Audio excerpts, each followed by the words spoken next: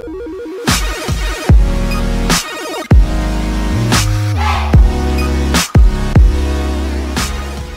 Phone का box रखा है। ऐसा ही बॉक्स कुछ आपको मिलेगा जब आप इस फ़ोन को ख़रीदेंगे। और अब मैं इसकी अनबॉक्सिंग करने वाला हूँ।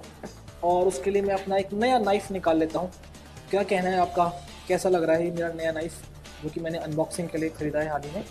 और इस नाइफ़ के थ्रू मैं इसे यहाँ से काट लेता हूँ। काफ़ी तेज़ है नाइफ़ और इसे हटाने से पहले एक चीज़ जो मेरे को दिखी मेड इन इंडिया लिखा हुआ।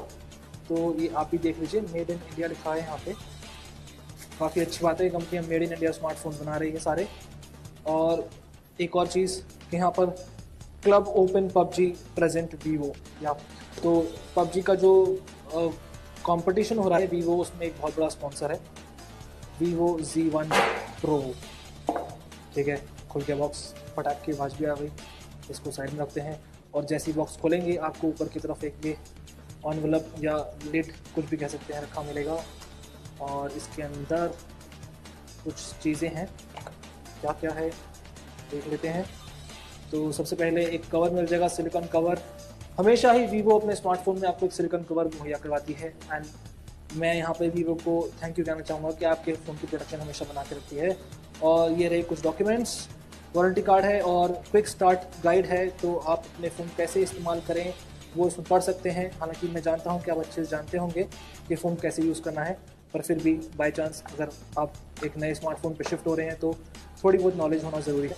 तो ये रहा phone Vivo Z one pro इसको यहाँ से खोल लेते हैं। फ़ोन देखने में बेहद ही शानदार लग रहा है। थोड़ा सा भारी है पर फ़ोन की लुक्स बहुत ही प्रियम है। मतलब आप देख सकते हैं कि डुअल टोन कलर दिया है, थोड़ा ग्रीन शेड है ऊपर, थोड़ा ब्लू शेड है नीचे। और बीच में आपको जो रिफ्लेक्शन दिखाई दे रही है, बहुत ही शानदार लग रहा है। ट्रिपल रेड कैमरा है और यहाँ पर आपको एल ई लाइट मिल जाती है। जो कैमरा की प्लेसमेंट ऐसी लग रही है कि इसे चार कैमराज दिए हों। बहुत ही प्रीमियम क्वालिटी का फ़ोन लग रहा है। मतलब सच में पकड़ने पे काफ़ी अच्छा लग रहा है। थोड़ा सा भारी ज़रूर है। पर एनी वे फ़ोन को ऑन करके अभी मैं यहाँ पर प्लेस करता हूँ। और बाकी बॉक्स कंटेंट देखते हैं क्या है। इसको हटा लेते हैं। हटाने से पहले एक चीज़ जो मैं स्किप कर गया, वो ये कि ये है इसका सिम इजेक्टर टूल और बॉक्स कंटेंट क्या है, इसको निकाल के हम बॉक्स को हटा देते हैं यहाँ से। तो अब सबसे पहले मैं आपको बता दूँ कि इसमें आपको जो चार्जर मिलता है, वो है five volt two amp or nine volt two amp or अठारह वोल्ट की चार्जिंग है, जो कि मैं आपको शुरू में बता चुका हूँ बॉक्स पे लिखी हुई थी। और एक ईयरफोन मिल जाते हैं। साथ ही साथ एक केबल मिलती है। माइक्रो यूएसबी केबल है। यहीं थोड़ा सा वीवो मार खा गया, जो कि माइक्रो यूएसबी केबल आपको मुहैया करवाई है। एटलीस्ट टाइप सी पोर्ट होना चाहिए था। पर एनी वे बाकी स्पेसिफिकेशन अच्छे हैं। उसके बारे में आगे जानेंगे। तो देख सकते हैं कि जब आप इस फ़ोन को भारतीय बाज़ार में खरीदेंगे तो ये एक्सेसरीज और ये बॉक्स कंटेंट आपको इस फ़ोन के साथ मुहैया करवाया जाएगा। तो चलिए अब हम इस फ़ोन के फ़र्स्ट इंप्रेशन पे नज़र डाल लेते हैं। यहाँ पर आपको पहले मैं लुक दिखा देता हूँ, क्योंकि बहुत ही इंटरेस्टिंग लुक है इस फ़ोन की।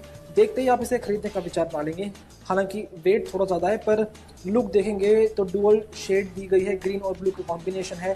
प्लास्टिक फ्रेम है और बैक साइड पर आपको ग्लास फिनिश मिल जाती है पॉलीकार्बोनेट कंस्ट्रक्शन की है। ग्लास्टिक कहा जाता है इसको नया टर्म आ गया है इसके लिए। तो कहूँगा कि ग्लास्टिक बैक पैनल है इसका। फिंगरप्रिंट सेंसर मिल जाता है ट्रिपल रेयर कैमरा है। यह राइट साइड पे पावर बटन और वॉल्यूम लॉकर की मिल जाएगी। ऊपर की तरफ़ कुछ भी नहीं है लेफ़्ट साइड पे है एक बटन जो कि इसका ए आई असिस्टेंट बटन है, जिससे आप गूगल असिस्टेंट खोल सकते हैं। सॉरी लॉक कर दिया मैंने। आपको दिखाता हूँ इसको यूज़ करके। तो यहाँ पर आप देख सकते हैं कि इसको प्रेस करते ही गूगल असिस्टेंट खुल जाएगा। इसको आप सेट भी कर सकते हैं दूसरे फीचर के लिए। नीचे की तरफ़ क्या है? नीचे की तरफ़ है 3.5 मॉड्यूल जैक और साथ ही साथ यहाँ पर आपको माइक्रो एस पोर्ट मिल जाता है। स्पीकर ग्रिल है। और कुछ एक्स्ट्रा नहीं है इसके अलावा इसमें। तो ओवरऑल लुक्स काफ़ी शानदार है फ़ोन की और आपको ज़रूर पसंद आएगा फ़ोन देखने में। और यहाँ पर एक और चीज़ आपको बता दूँ कि जो इसकी लुक्स का पार्ट है, वो है इसका डिस्प्ले अभी फ़िलहाल आपको नज़र नहीं आ रहा होगा, लेकिन आप देख सकते हैं कि आपको कोने पे एक छोटा सा पंच होल मिल जाता है। एकदम छोटा सा कंपनी ने रखा है। इसको कंपनी इन डिस्प्ले कैमरा भी बोल रही है, लेकिन डिस्प्ले के अंदर नहीं है डिस्प्ले के साथ ही है तो हम इसको इन डिस्प्ले नहीं मानेंगे।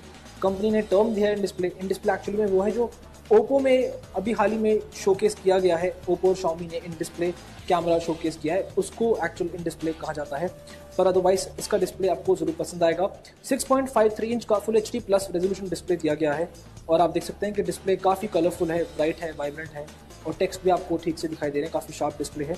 इसके साथ साथ अगर हम इसके इंटरनल्स की बात करें तो एक बार अबाउट सेक्शन जाके मैं इसको चेक कर लेता हूँ स्पेसिफिकेशन क्या है, हालाँकि मुझे पता है, लेकिन मैं आपको दिखा देता हूँ। तो यहाँ पर आप देख सकते हैं कि कॉलकॉम स्नैपड्रैगन 712 चिपसेट दिया गया है 2.3 की गर्ट्स क्लॉक स्पीड है इसकी। इसमें आपको तीन वेरिएंट मिल जाते हैं जो कि कंपनी ने अनाउंस किए हैं।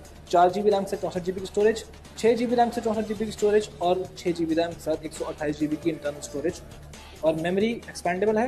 यस मेमोरी भी एक्सपेंडेबल है, वो भी मैं आपको दिखा देता हूँ।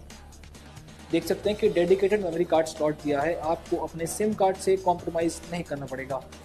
अब इसकी रैम स्टोरेज और इसका प्रोसेसर तो शानदार है ही। इसकी बैटरी आपको कमाल की लगेगी।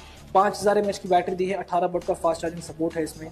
इसलिए ये फ़ोन एकदम दमदार परफॉर्मेंस के साथ अच्छा बैटरी बैकअप देने की भी क्षमता रखेगा। हालाँकि ये फ़र्स्ट इंप्रेशन है, इसलिए अभी परफॉर्मेंस और बैटरी पे कमेंट नहीं कर सकता, पर ऑन पेपर्स के हिसाब से फॉर श्योर ये काफ़ी अच्छा लग रहा है। अब बात करें कैमरास की तो तीन रेयर कैमरा इसमें दिए गए हैं। 16 प्लस 8 प्लस 2 मेगापिक्सल के ट्रिपल रेयर कैमरा है। एक बार छोटा सा डेमो कर लेते हैं कैमरास का। कैंसिल ये रहा फ़ोन का बॉक्स शटर स्पीड काफ़ी अच्छी है। जो 8 मेगापिक्सल सेंसर है, वो वाइड एंगल फ़ोटोज़ क्लिक करता है। आइए डेमो देखिए। ये देखिए, अभी ये नॉर्मल है और ये वाइड हो गया है। वो सारा सामान मेरा पीछे आपको दिख गया। वो छुपा लेना चाहिए उसको फटाफट से। ओके तो देख सकते हैं कि वाइड एंगल लेंस है 8 मेगापिक्सल का। 2 मेगापिक्सल लेंस बुके इफ़ेक्ट के काम आता है, आप सभी जानते हैं। साथ साथ इसमें आपको कुछ एक्स्ट्रा फीचर भी मिल जाते हैं। वो देख लेते हैं फीचर्स क्या हैं। सबसे पहले यहाँ पे दिखा दूँ फीचर्स आपको मैं। प्रो मोड है पैनोरोमा मोड है लाइट मोड है सॉरी नाइट मोड के साथ ए ब्यूटी भी है फ़ोटो मोड है वीडियो फन वीडियो और ए आर स्टिकर्स तो जो एक्चुअली वीवो के फीचर्स हैं, दूसरे फ़ोन्स में, वो आपको इसमें भी मिल जाते हैं। नाइट मोड भी मिल रहा है तो नाइट फोटोग्राफी अच्छी हो सकती है आपकी इससे। वो चेक करके बताऊँगा रिव्यू के समय पे। फ्रंट कैमरा की बात करें तो फ्रंट कैमरा से पहले हम वीडियो की बात कर लेते हैं तो रेयर कैमरा से आप 4K वीडियोस रिकॉर्ड कर सकते हैं और 60 एफ़ का ऑप्शन भी इसमें आपको मिल जाता है। अब बात करते हैं ओवरऑल पूरी तरह से पावर पैक स्मार्टफ़ोन रहा है एंड्रॉइड पाई पर चलता है। फन टच ओएस की इस पर लेयरिंग दी गई है और फीचर्स के साथ साथ प्राइसिंग भी काफ़ी एग्रेसिव रखी कंपनी ने आप देख सकते हैं कि फ़ोन पूरी तरह से Xiaomi रेडमी नोट 7 प्रो और रियलमी 3 प्रो को टक्कर देने की क्षमता रखता है।